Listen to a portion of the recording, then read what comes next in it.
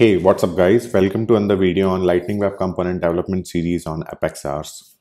So in previous video, we learned about Lightning Web Component, what is Lightning Web Component, how you can use it, where you should use it, why we are using it now, and uh, what uh, were the differences between Aura and Lightning. And in this video, we will be doing some hands-on related to data binding and rendering. So in this video, I'll show you how you can bind your data in your Lightning Web component and how you can control the rendering over it, right? So let's quickly start this presentation. So in this video, guys, I'll show you what is data binding and rendering. Okay, just a second. Okay, so let's start this by my introduction. I'm Kapil Batra. I'm a Salesforce MVP and founder of blog salesforcebolt.com and the YouTube channel Salesforce Bolt. I'm from Ajmer, Rajasthan and I'm currently working as a senior Salesforce consultant. So the agenda of this presentation, this video will be to learn about data binding, like what is data binding, what are the types of data binding, and how you can render your data conditionally in your Lightning Web component. So guys, before starting this video, we will be starting it from scratch. I'll assume you don't know anything about LWC development and this is your first time while you will be trying to build your components. So we will be starting with very basic. We'll be starting with how you can use VS Code to create a project, how you will be able to create a scratch org and then build your component in it. Okay. So let's move ahead.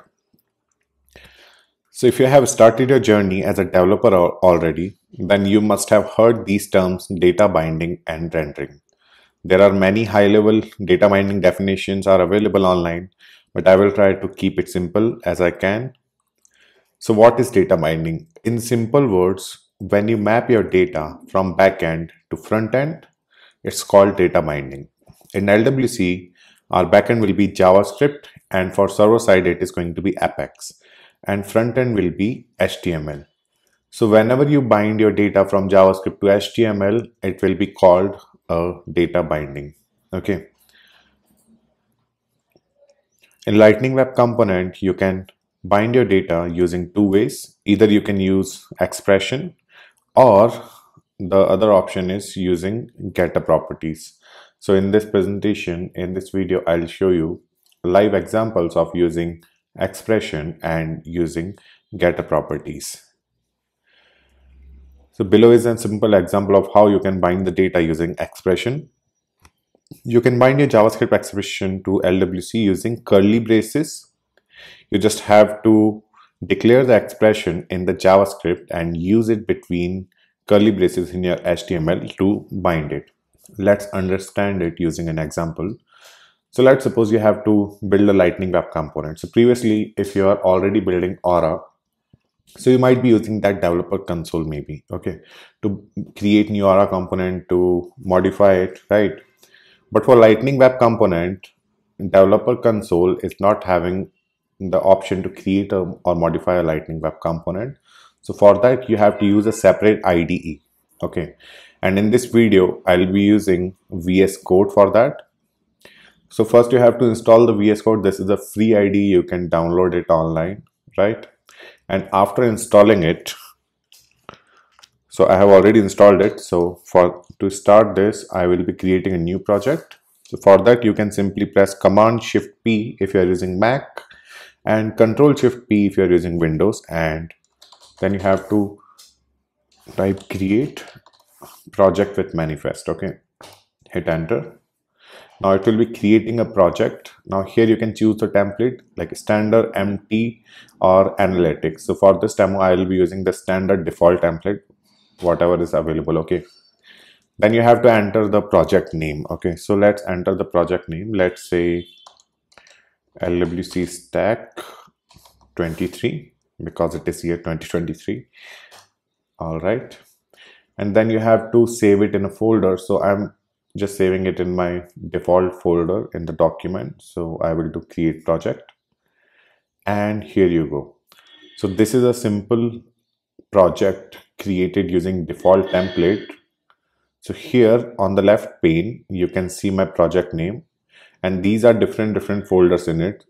So your content your lwc class and and other stuff will be in this force app uh, folder here okay? And here you can see lwc is here aura is here right? Now to build your lwc either you can use a developer org and connect this vs code uh, project with your developer org or you can also use a scratch org right? So to get more details about developer org and scratch org you can follow. There are some simple trails available over trailhead that will give you a good insight about both of them. So let's suppose you have created a project and then you have to create an org to see the demo. So basically there are two ways using which you can see the output of a lightning web component. Either you can configure a local server on your system or you can have a developer org or scratch org. So in this video we'll be using scratch org. So to create a new scratch org just press command shift p and whatever command i'll be using i am using it on a mac. So whenever i say command you just if you're using a window you have to use uh, control there. So here i'm doing command shift p and i'm typing default. And here it is create a default scratch org. So you just have to hit enter. And we'll be using the uh, default project.json file here. Now you have to name uh, this is scratch org so i'm just using same name what i was having there. And here uh, we have to enter number of dates. So i'm adding 30 okay now after this command it might take few minutes to create a new scratch org so here you can see our scratch org is ready for next 30 days. And after the next 30 days it will be automatically disposed so whatever changes you are making in scratch org, make sure you take it, take back off of it, or maybe like before it gets expired, you can create a new scratch org and push your changes to that scratch org as well. Okay. All right. Now to log in into your scratch org, you have to press Command Shift P and use the command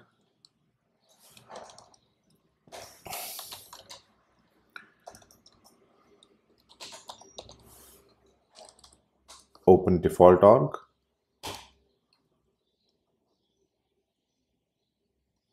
So here using this command, you will be able to open a default scratch org. This might also take some time. Okay. So for the sake of this video to keep it short, we will skip this loading part and we will directly show you the output of how it is going to be once this command uh, will complete successfully. So after running that command, it will open a new browser window and it will open your org as well, which will be connect, which will be uh, automatically connected with your this VS Code project. Now, whatever you will be building in that VS Code, you will be able to see your output in this org, right? So let's try to build a Lightning Web component now. Okay. Now to build a Lightning Web component, you just need to simply press command shift P and then create lightning web component okay? And here you can simply put the desired output desired name of that file. So in this video for this bind html example i will be using bind html okay let it be in default directory so this is our lightning web component and here you will be getting html javascript and the meta config file okay? So to build your component as i told you you just need to declare your expression in the javascript file and you can simply bind it in your html file using curly braces. So let's try it out. So let's suppose i'm declaring an expression here. Let's say my value is equal to salesforce bolt. Okay. Now this is my default expression here. And now in html you can simply do like so this is a static text. And to bind my expression I will be using curly braces and I will put the same name here. My value. Okay now using this I have created a lightning web component and I have bind that value from JavaScript to this HTML okay. Now before putting this component live or before pushing it to your org you need to make it available for your org. Okay. So now we have just created lightning web component. Now we have to declare where are we going to use it. So for that you need to make some configuration in this meta.xml file. Now to do that first you have to make your component exposed. So we will change this property to true okay? Now you have to set up the target. So in salesforce there are multiple targets where you can display your component okay? Like you could have it on a lightning quick action lightning app page home page record page lightning flow and there are some others as well but for this example i'll be just having it on a new application a new lightning page. So for that we have to set targets here. So to set targets you need to add this targets root tag here first okay? Now underneath this targets you your targets root tag you can have more target. So okay it is already there due to autocomplete. So first we'll be using lightning app page then we'll be using lightning home page and another target would be record page. So here it is. Now we are having three targets here where we can have our lightning web component right? Now to push it to a default scratch org, you just have to simply press Command Shift P and use command push source to default scratch org and overwrite any conflict. If you're using a developer org, then this pushing stuff will be a little bit different. You just have to press right click on this component and then there will be an option to deploy this component to your org. But as this is just a scratch org, so in scratch org, you can use this command as well so now as you can see this is command this command was running and it was pushing our component to your org and it ran successfully now let's check out our org. Now we need a place to have that component. So either we can have it on record page app page or home page. So on record page we can simply like i can simply open any object any detail page of that object and i can drag my component there okay? But let's not uh, you know uh, mess around those existing things. Let's create something new.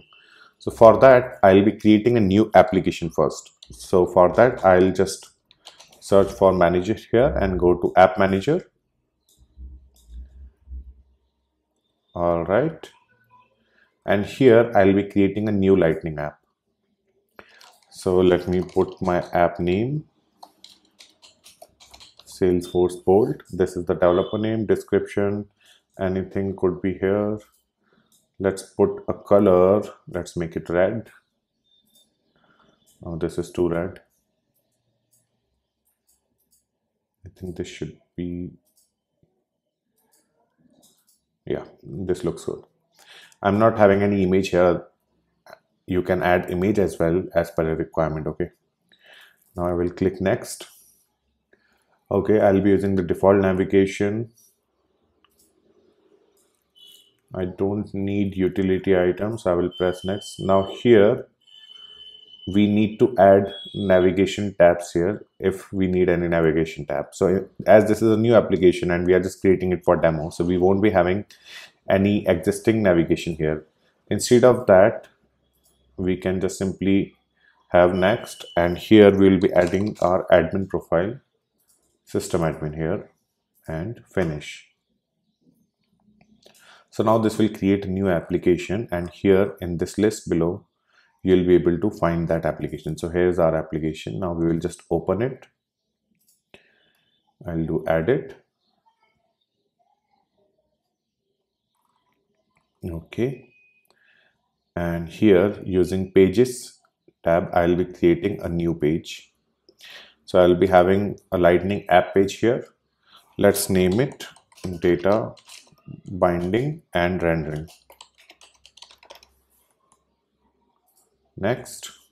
Now this is the different different layout you can choose for your application. So for this demo i'll be choosing this three region where i'll be able to put three component on a single screen.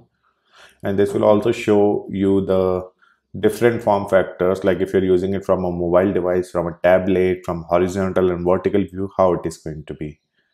So let's click finish. Okay so this is just an empty page now now here on the left pane, you will be able to search your component if you are having the proper XML configuration. So our component name was bind HTML and yes, we are having it here. Okay, so this is our component guys. Let's save it.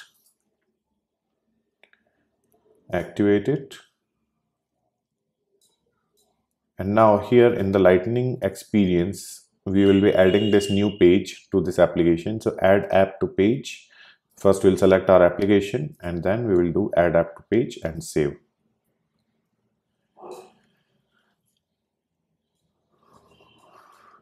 Okay, so this has been saved to that specific application. Now let's go back. Now to search that new application, you just have to click on this app launcher icon. And here you can search for the new application. So this is our new application, Salesforce Bolt and here you will be able to find a new tab which is having a new page data binding and rendering. And this is our component which we created right now. So we bind uh, the value uh, salesforce bolt from javascript to this html right? So this is how you can create a new component and bind your html in it. Now let's decorate it a little bit. Let's make it more beautiful using lightning design system styles and library as well so for that, you just need to use Lightning Design System. So there are two websites basically, and I can say you can use them as Bible of LWC. So whenever you need to create a new component, first you have to check if the existing functionality is already available. Maybe you need to create a button or something. So there are some existing code available on the library, which you can just simply copy and paste in your Lightning Web component and generate the output. So for that, you just have to search for Lightning Web component library. And you can open the first link here. I believe this must be the library. Yes this is so this is the common library for aura and lightning as well. Here you can see aura components and here you will be able to find lightning stuff okay? So let me close it. And here in lightning to make this component more beautiful let's try to find out some uh, maybe header or so. So for that we can use this lightning card I believe this would look good there. So for that lightning card, this could be the output of that component. You can simply add a lightning card like this and have your component uh, in this border card kind of layout. And there are different, different things like cards with narrow variant. So here you are able to see an icon as well underneath that you are able to see the text. And there's another one card with custom title and footer. Okay let's check that out. So this is a custom title and footer as well. So for this i'm just selecting card with narrow variant. So as i told you the code will be automatically here so you can see the code to generate this output on a lightning web component. So whenever you're building something new make sure to check the library. There are tons of examples available different different components and as you know like salesforce will be adding the new tools the new components with every release as well. For this demo let's quickly copy this and let's go to vs code. This is my html and paste it here. Let me yeah okay. So the title let's change it to data binding. And let's not have any button there. And instead of that let's remove footer as well. Okay. And here we can use the same text again. So I will do hello then I will bind my value which is my value and then exclamation mark save it command shift p push source to org.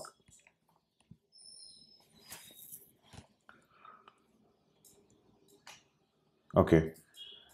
Now this was the previous output. Now let me open it in a new tab just to show you the comparison as well. So we have made changes in our lightning web component deployed and this is the output. Now you see how beautiful it is as compared to the last one. So you can use this library to get predefined component and if you'd like to customize something so for that you have lightning design system so you can just simply search for lightning design system here and this is the website lightningdesignsystem.com. So if you need to customize anything, let's suppose if you need to maybe add an icon, so you can just go to icons. There are different different icons available with code. So you can just simply search from here. Apart from that, there are components as well. If you will see component blueprint. So what we have added right now was lightning card. So if you will see blueprint of card, so here you'll be able to find the same blueprint but with custom HTML code here. So here this is just HTML code. So if you need to make any changes in any existing class or something, maybe need to change the style of it. So you can customize it accordingly. And again, you can just copy and paste your code from this lightning design system as well. One of the best thing about being a lightning web component developer here is how much content available online you know to build these things you don't have to write much now you can simply copy and paste things over the internet but in my opinion trust me guys this is very very true in my opinion this is one of the worst thing also like how much content is available over the internet. The content what you will be able to find on google it is available for everyone okay? And somehow i believe like you know these kind of content which is already available that that might you know stop your creativity to think more about it like how you can you know make it little bit better uh, from the existing layout. But anyways i mean it is what it is. If something is available you don't have to you know write it manually then. So this was our first demo to how you can um, bind your bind your expression from javascript to your lightning web component okay? And you can also make the expression value dynamic like on any buttons click or text change. It is up to your requirement let me show you another example where we will be having this value as dynamic okay? So for that we will be creating a new component. So i'll do command shift p create new component. Let's name it uh, bind html dynamic okay? Let's put it in the default directory before that before doing any changes let's just copy the target and rendering stuff from the previous component. So i have copied it and i will paste it here. All right. So we are good here. Let's close it. Okay. Now in this example i will be creating a lightning input and on text on change of the text of the lightning input we will be uh, having the dynamic output in a value okay so let's just copy the default html first what we just created in this previous component we don't have to search for it again okay now let it be like this my value okay now I need a lightning input. So now as I need a new text box, I won't be creating it from scratch, right? Because I'm already aware about component library. So I'll just go to component library. This is component library. I will find for, I will search for input. Here it is. Okay. So this is a default lightning input which is available and this is the code of it. So you can simply just copy it from here go to your component and paste it here let's add a new line so for that i will add a br you don't have to look for design system or library for a new line tag okay? And so this is my lightning input text the label is enter some text here okay? Now we will bind that dynamic value first. So in value I will be having same value which is my value okay? And on change of this I will create a function in JavaScript. So let's name it handle change. So this is this will be the function in javascript. So let me just copy its name. So we won't be making any typos there. Because in javascript it won't be showing any error for typing mistakes. Okay. Now we have created handle change event here. Okay. Let me add event. And first we will have that value as well. So i will add my value okay let's add default one salesforce bolt. All right. Now here on this on change event we will be getting values from that input. So whatever we will be typing on that input on client side we will be getting that value in this on change. So to assign new value the typed value in my value you can simply do this dot my value to refer the parameter. You have to use this keyword here is equal to now you have to get the value from that input. To get the values you will be using this event here. So you can simply do event dot target dot my value. Okay. So in the targeted uh, input in the targeted event we will be having my value from there. Let's save it. Command shift p. Push source to org and check the output so this handle change will change the my value expression on change of the input text value in real time. Okay let me show you the output now. So this is our application. Let me close it. Yep. So here on the right side we'll be adding that component. Let's change the name as well. Otherwise uh, data binding let's make it dynamically okay? So previously it was data binding and now this new one is data binding dynamically okay it is deployed now to add that component here, you need to click on this gear icon, do edit page. And from this edit page, we will be back on that screen, which we got from that added application. Okay, now here I will be having my next component. So let's search for it. And here it is bind with dynamic. Okay, let's drag it here, save it. Okay, change is saved. Let's go back. Okay here it is. Now here you can see enter some text. So while i will be entering or modifying the text the value over here will be modifying accordingly. So if you will notice here i'm typing. Okay somehow we are not getting the live value there on the expression here so for that we will go back to that handle on change and we might have done some mistake okay? So let me check the javascript part. All right. So guys here from this target we are supposed to get the value. My value is our targeted parameter. So we will do event dot target dot value to get the value okay? So this was the mistake we were having here all right? It is deployed. Now try to refresh it. And see the output again.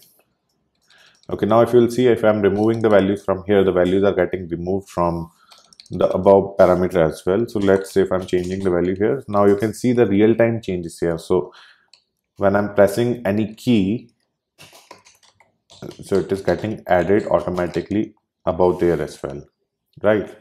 So that's how you can bind your expressions i would say dynamically. Okay? So here we uh, try, we try to bind that expression on the change of this input. It is up to your requirement. Maybe you need it on a button or something so you can also do that thing as well. Okay? Now the other example of data binding would be using getter properties. So you can use getter properties if you want to compute a value for a property. For example to convert the name to all upper case letters you can use a getter function in the JavaScript class instead of expression in the template. Now let me show you how you can use the getter to bind the properties. So for that we will be creating a new component again. So we will do create lightning web component. Let's name it uh, getter expression. Okay. Let's put it in the default directory and the first thing what we will do we'll just copy this targets from a previous component. Just try to you know avoid the typing of the code as much as you can okay? Because you don't want to do any typos or something or you should not be looking for the same stuff. You should not be searching for the same stuff again and again if you are having it already in one of those component okay? Now this is my getter uh, component. Okay.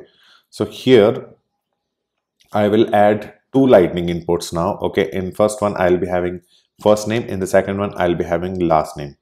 And on change of those uh, input values I will be dynamically binding a value which will be having those values but with uppercase functionality. Okay. So for that first we will as I said try to copy the code so we'll be copying the same code from this previous example where we had a single input. So let's change this label to okay so we have changed the label to first name now. We won't be binding it here. We won't be having this expression here. Okay. Now we need another input. So we'll just copy this. We will add a new line we will paste it here. So this is first name and this is going to be last name. All right. And if you will notice i'm using the common on change in both of these inputs. So in backend we definitely need to check out like which on change is working. Is it from the input one or input two right so let's add name here which will help us to identify the input. So let's add first name and here last name so we are having first name and last name here as well.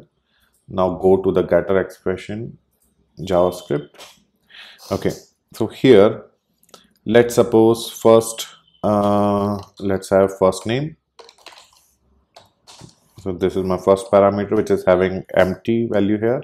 And then we will add last name as another parameter which will be having none there. Okay. Now we will create that handle change function. So let's just quickly copy it to avoid any typing mistake. Okay. And we will be using event to get the values so usually you can get the values using event.target.value as I showed you in the previous example. But now we are having two inputs here. So first we have to check which input is having that event. Okay so for that let's have a constant here to check the field. And we will do event dot target in the previous example, we have used value, but this time we will be using name attribute from that event. So event.target.name, which will be giving us the first name or last name. Okay. Now here we will do if field triple equals to first name. So we'll do this dot first name is equal to event dot target dot value and else if field is equal to last name. So in that case we will be having this dot last name as event dot target dot values. So now we have assigned the values. Okay. Now let's suppose if you have to make it in uppercase so you won't be having any third expression here to just concatenate the string and then you know use the uppercase function. And then you have to use this dot first name plus this dot last name or maybe that third expression as well. Instead of that we'll be using a getter expression okay? So we'll use get then let's name it uppercase name okay? Now here we will just return the first name. Okay. And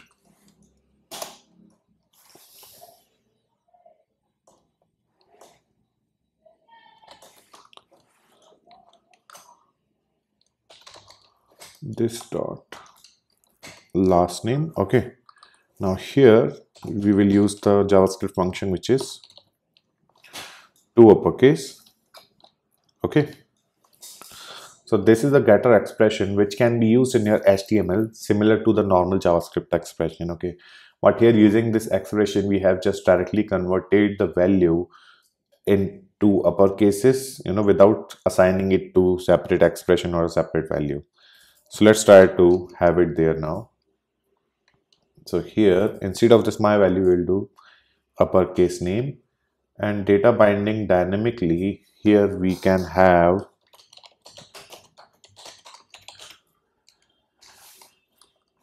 getter expression okay or let's make it data binding. Using getter expression this looks good. Let's push our code. Okay it is deployed now now let's go here. We have to add that component so we will do edit page. All right now here we will find getter expression. Here it is we are not having any error okay let's quickly save it. And go back. So now this is our third component so let's suppose if i will type something here i'm typing my name. So if you'll notice here i'm typing in small letters but on the output you are able to see the capital letters here uppercase letter. Because here we have created a getter expression which is making these values in uppercase right? So that's how you can use the getter expression to bind your values. Now the next thing which we'll be discussing in this video is data rendering like how you can render your data conditionally in your lightning web component so for that we will be having another new component so to render your data conditionally, you can use template if true and template if false. Then there you can have your expressions. And in the expression, you can have static or dynamic expression.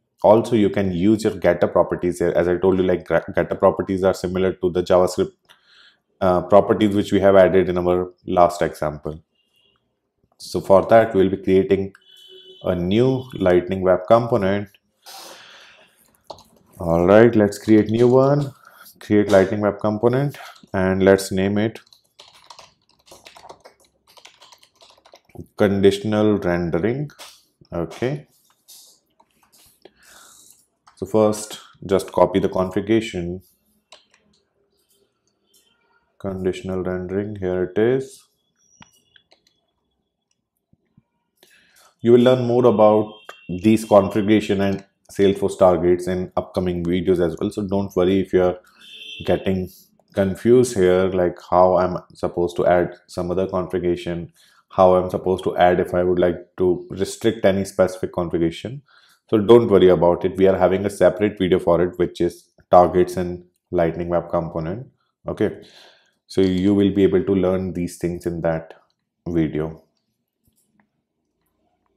so the xml file is ready okay now here this time we will be having a checkbox here and on the check of that checkbox we will be maintaining the rendering we will be you know making a specific element true and false. We will uh, show and hide that specific element okay? So for that first we will need a basic html okay? So mm, okay this is conditional rendering. Let's take it from here the basic html stuff. All right now let's change the title first so the title we will be using conditional rendering elements. Okay. Now for this demo mm, we can use this. Hello okay. Let it be there. And now let me remove all this. So as I told you we need a checkbox now. So what we are going to do now? Are we going to build it no. We will just go to that library. We will search for that checkbox. So here checkbox is also part of this lightning input. So here you can simply uh, search for checkbox. Here it is. And we will be just having this let's say this basic option first one. Okay. So let's copy it from here. And let's go to our code add a new line. Paste it here okay? So this is our checkbox now which where type is having checkbox okay? Let's change the label and make it click me. And uh, let's change the name. Actually we don't need name here but if it is here let it be. Let's have the same name here as well. We need on change here to maintain the rendering on change of this text box uh, checkbox sorry. So we'll be having handle change for that okay. Now on backend we will be having a element and we'll be changing its value on change of this text box okay. So let's suppose the element okay let's create an element first. So let's say we are creating show me the default value of this element is false okay now let's stop here and go back to html first we will be having template if tag to maintain the rendering. So here you can simply do template if true. So if show me is true then let me copy it quickly. Okay. Then i'm just having a static text. I am visible. Okay. And if the same way template if false. Okay. If false equals to show me. So if show me is false just a second. Okay. So if this show me is false then I will display a different text which is I am not visible. Okay. So that will be all in our HTML we will be just having this basic example for rendering. Okay. Now we have to maintain the value in the backend as well. Let me remove this. We don't need it for this example. Let me remove this PR as well. We don't need it either. And now for the show me first we will use that handle change event. All right. Now here in handle change we will do this dot show me is equal to event dot target. Like in previous example we did event dot target dot name to get the name of that at, uh, from that input. Event dot target dot value to get the value from that input. But here in checkbox we won't be getting value or name. In checkbox we need to check if it is checked or not. So for that you can simply do event dot target dot checked right?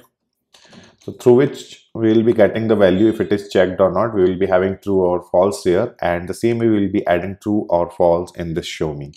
So let's quickly deploy it. All right it is deployed now. Let's go to our scratch org edit page. And as we were having three layout here we don't have any space to add more components so uh, let me add it about uh, or underneath this one okay? Okay let's save it. Go back. And this is our component guys. So here now you can see i'm not visible. If i will check it it says i'm visible. So that's how you can conditionally render something in your lightning web component. Okay. Now here also if you'll notice this is you know uh, we need some padding here.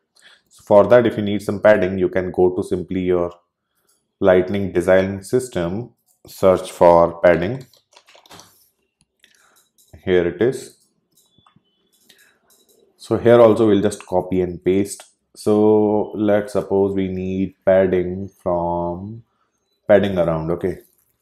So this is none small this is access small. I think x small should be fine. So i'll be just having this div from here. I'll go to my code. This is my component and i need to add some padding here okay? So here is my div. Okay sorry. And we will close it here okay let's deploy it now and check the output again. We must be having some padding now and the UI will be a little more beautiful now. So here as you can notice we are having some padding now. You can increase the padding based on the examples available here. And this is our functionality.